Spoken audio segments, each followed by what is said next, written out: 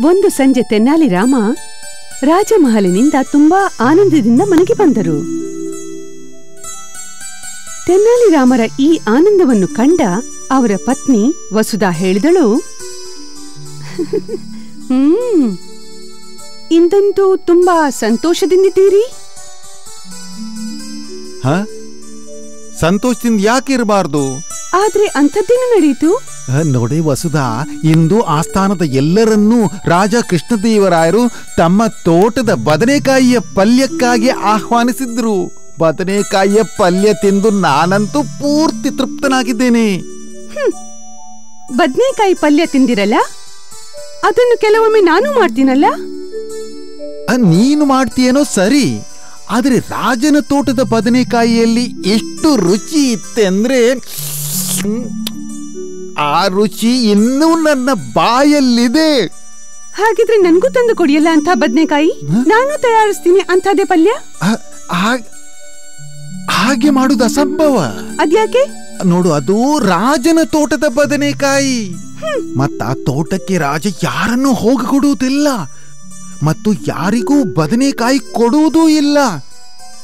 ಈಗ ಎಲ್ಲಿಂದ ತರಲಿ ನಾನು ಆ ಬದನೆಕಾಯಿ? ಅದೆಲ್ಲ ನನಗೆ ಗೊತ್ತಿಲ್ಲ. ನನಗಿಷ್ಟೇ ಗೊತ್ತು. ನೀವು ಎಂದಾದ್ರೂ ಯಾವ್ದಾದ್ರೂ ಹಠ ಹಿಡಿದ್ರೆ ಅದನ್ನ ಸಾಧಿಸಿ ಬಿಡ್ತೀರಾ? ನಿಮ್ಗೇನು ಅಸಾಧ್ಯವಲ್ಲ. ಹಾಗಿದ್ರೆ ತಂದ್ಕೊಡಿ ಬದ್ನೇಕಾಯಿ. ನೋಡಿಂದ್ರೆ ನಮ್ಮ ಮುರಳಿ ಕೂಡ ತಿನ್ಬಹುದಲ್ಲ? ಹ್ಮ್? ಆದ್ರೆ ಆದ್ರೆ ಕಳ್ಳತನ ಒಳ್ಳೆದಲ್ಲ? ಅದೆಲ್ಲ ನನಗ್ ಗೊತ್ತಿಲ್ಲ. ನೀವು ಈಗ್ಲೇ ರಾಜನ ತೋಟದಿಂದ ಬದ್ನೇಕಾಯಿ ತಗೊಂಡ್ ಬನ್ನಿ. ಸರಿ ಸರಿ ತಗೊಂಬರ್ತೀನಿ. ಆದ್ರೆ ಮೆತ್ತಗೆ ಮಾತನಾಡಿ ನೀನು ಯಾರಾದ್ರೂ ಕೇಳಿಸ್ಕೊಂಡಾರು.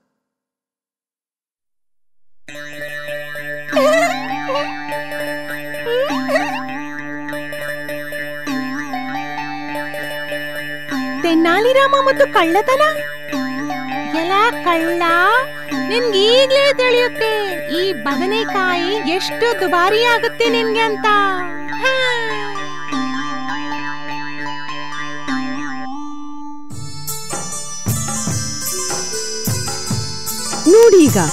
ಈಗ ಈ ಪಲ್ಯವು ನಿಮ್ಮ ರಾಜನ ಪಲ್ಯದಂತೆ ಇದೆಯೇ ಇಲ್ವೋ ಅಂತ ಹೇಳಿ? ಅದಾಗ್ಲೇಬೇಕಲ್ಲ.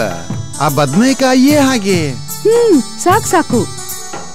ನೀವೀಗ ಮುರಳಿಯನ್ನ ಎಬ್ಬಿಸಿ. ಬೇಡ ಬೇಡ. ಅವನು ನೆಪ್ಸೋದ್ ಬೇಡ. ಮಲಗಿದ್ದನಲ್ಲ ಮಲಗ್ಲಿ. ಅಯ್ಯೋ ಇಲ್ಲಿ ಕೇಳಿ. ಅವನು ತಿನ್ಲಿ ಈ ಪಲ್ಯ. ಎಷ್ಟು ರುಚಿಯಾಗಿದೆ ಗೊತ್ತೇ? ಇನ್ನೊಮ್ಮೆ ಎಲ್ಲಿಂದ ತಾನೇ ಸಿಕ್ಕಿತು ಸರಿ ಸರಿ. ಎಬ್ಬಿಸ್ತೀನಿ. ಹಾ? ಏನ್ರಿ? ನೀರ್ ತಗೊಂಡ್ ಏನ್ ಮಾಡ್ತಿದ್ದೀರಾ? ಸ್ವಲ್ಪ ನಿಲ್ಲು ನೀನು. ಅರೆ. ಮುರ್ಲಿ ಮುರ್ಲಿ ಹೇಳ್ ನೋಡೋಣ. ನೋಡ್ ನೋಡು ಎಷ್ಟು ಮಳೆ ಬರ್ತಾ ಇದೆ. ಆ ನಿನ್ನ ಬಟ್ಟೆ ಒದ್ದೆ ಆಗಿದೆ.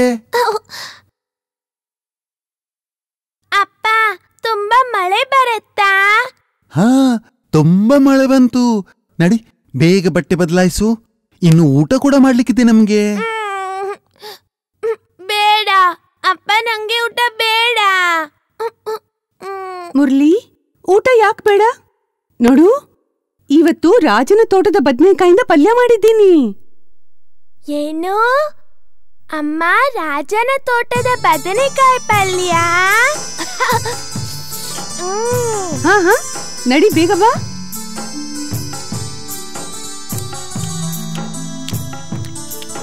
ಬಾ. ಪಲ್ಯ ತುಂಬಾ ರುಚಿಯಾಗಿದೆ ಇನ್ನು ಕೊಡು ಅಮ್ಮ. ಬಡ್ಸು ಬಡ್ಸು ತುಂಬಾ ರುಚಿಯಾಗಿದೆ ಹ್ಮ್. ಹ್ಮ್. ರುಚಿಯಾಗಿದೆ ಹ್ಮ್. ಇಲ್ ಕೇಳಿದ್ರೆ? ನಿಜವಾಗ್ಲು ತುಂಬಾ ರುಚಿಯಾಗಿದೆ ನಾನ್ ಹೇಳಿಲ್ವಿ ನಿಮ್ಗೆ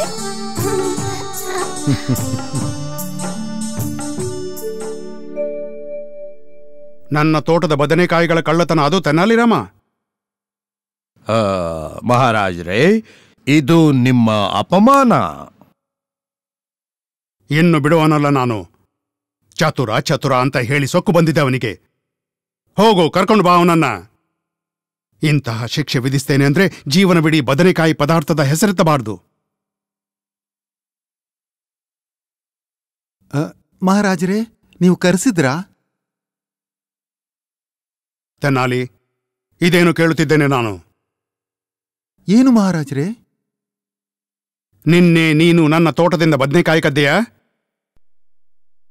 ಮಹಾರಾಜರೇ ಇದೆಂತಹ ಆರೋಪ? ನಾನ್ಯಾಕೆ ನಿಮ್ಮ ತೋಟದಿಂದ ಬದನೆಕಾಯಿ ಕದೀಲಿ? ನಿನ್ನೆ ಸಂಜೆ ನೀವೇ ನಮ್ಗೆ ಆಮಂತ್ರಣ ಕೊಟ್ಟಿರಿ. ಆ? ಅಲ್ವಾ? ಹಾ ಏನೇ? ತೆನಾಲಿ ನಿಜ ಹೇಳ್ತಿದ್ದಾನೇನೋ?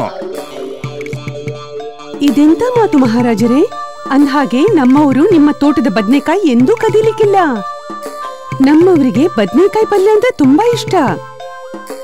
ಒಂದ್ ವೇಳೆ ಅವರು ನಿಮ್ಮ ನಿಯಮಕ್ಕೆ ವಿರುದ್ಧವಾಗಿ ವರ್ತಿಸಿದ್ರೆ ಅವರಿಗೆ ಈ ಪಲ್ಯ ಮತ್ತೆ ದೊರೆತಿತೆ? ಹ್ಮ್. ನಿನ್ನ ಮಾತು ನಿಜ. ಆದ್ರೆ ನನ್ನ ತೋಟದಲ್ಲಿ ಬದ್ನೆಕಾಯಿ ಕಳವಾಗಿದೆ ಅದೂ ನಿಜ. ಮತ್ತ ಕಳ್ಳತನ ಮಾಡಿದ್ಯಾರು? ಮಹಾರಾಜರೇ ಬದನೆಕಾಯಿಯ ಕಳ್ಳತನದ ಬಗ್ಗೆ ಇವಳನ್ನೇನ್ ಕೇಳ್ತೀರಿ? ಇದಂತೂ ಇಲಿಯ ಸಾಕ್ಷಿ ಬೆಕ್ಕು. ಆ ನಾನು ಇವರ ಮಗನನ್ನು ಕರೆತರಲು ಕೋಟೆಯನ್ನು ಕಳಿಸಿದ್ದೀನಿ. ಹ್ಮ್. ಆ ಮಗು ಬಂದಾಕ್ಷಣ ಸತ್ಯ ಯಾವುದು ಸುಳ್ಳು ಯಾವುದು ಅಂತ ತಿಳಿಯುತ್ತೆ?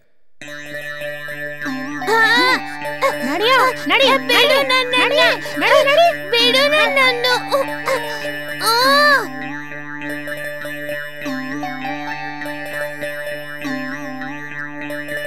ಹ್ಮ್. ಮುರಳಿ ಹೇಳು ನಿಜ ಹೇಳು.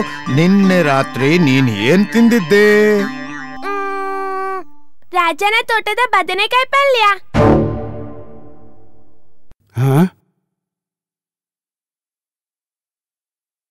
ಮಹಾರಾಜರೇ ನಾನು ಹೇಳಿದ್ದೇನಲ್ಲ ತೆನಾಲಿ ರಾಮನೇ ಬದನೆಕಾಯಿ ಕದ್ದದ್ದು ಅಂತ. ಹೌದು ಆದ್ರೆ ಅದನ್ನು ನಾನು ಹೇಳಿದ್ದು ಗೊತ್ತೇ. ನೀವು ಕತ್ಲಾಗೋದಕ್ಕೆ ಮೊದ್ಲೇ ಗೊರಕೆ ಹೊಡಿಲಿಕ್ಕೆ ಆರಂಭಿಸ್ತೀರಿ. ಹ್ಮ್. ಆ ಬದ್ನೆಕಾಯಿಯ ಪದಾರ್ಥ ನೀನು ತಿಂದದ್ ಯಾವಾಗ? ಜೋರಾಗಿ ಮಳೆ ಸುರಿತಿತ್ತಲ್ಲ ಆಗ ತಿಂದೆ. ಮಳೆ? ಮಳೆ? ಬರ್ತಿತ್ತು. ಮಳೆ? ನಿನ್ನೆಯಲ್ಲಿ ಮಳೆ ಸುರಿದಿತ್ತು?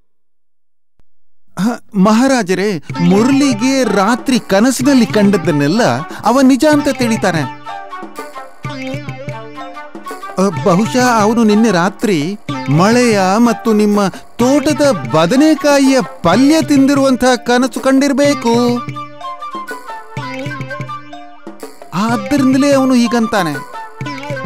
ಸರಿ ಸರಿ, ಹೋಗ್ಲಿ ಬಿಡಿ. ಮಹಾರಾಜರೇ ಆ ಬದನೆಕಾಯಿ ಇದ್ದೇನು ಅದೇ ಬದ್ನೇಕಾಯಿ ಇದ್ದೇನು ಯಾರಿಗೆ ತಿನ್ನಲಿಕ್ಕಿದೆಯೋ ತಿನ್ನಲಿ. ತಿನ್ನಲಿಕ್ಕಾಗೇ ಕಿತ್ತಿರ್ಬೇಕಲ್ಲ. ಈ ರೀತಿಯಲ್ಲಿ ತೆನ್ನಾಲಿರಾಮನ ಮೇಲೆ ಹೇರಿದ ಕಳ್ಳತನದ ಆರೋಪ ಸಿದ್ಧವಾಗಲಿಲ್ಲ. ತೆನ್ನಾಲಿರಾಮನ ಚಾತುರ್ಯದೆದುರು ರಾಜನಿಗೆ ಏನು ಹೇಳಬೇಕೆಂದೇ ತೋಚಲಿಲ್ಲ. ಪಾಪ ಆ ರಾಜಪುರೋಹಿತನ ಬಾಯಲ್ಲಿ ಮಾತೇ ಬಾರದಂತಾಯಿತು.